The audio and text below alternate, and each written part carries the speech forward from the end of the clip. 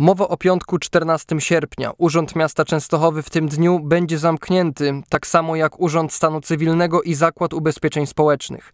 Urzędy skarbowe pracują normalnie, choć przypominamy, że przyjmują interesantów tylko w środy i piątki od 9 do 13, a w pozostałe dni sprawy można załatwiać jedynie elektronicznie.